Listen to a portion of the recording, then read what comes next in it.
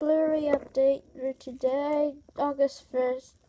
Here's the t- well, no Blu-ray. Here's the sticker. Oh, ultra voodoo, ultraviolet digital HD, front spine, the back, rated PG. So we're done. No, no. Here's the digital disc. It's um. Here's a digital HD code for the movies to get. That's the open. That's the update for this.